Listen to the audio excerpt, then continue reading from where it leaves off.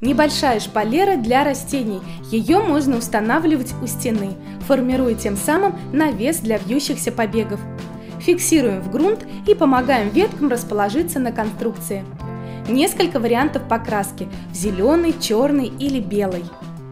Перголы имеют легкий вес. Кованые элементы и орнамент дополнительно украшают опору.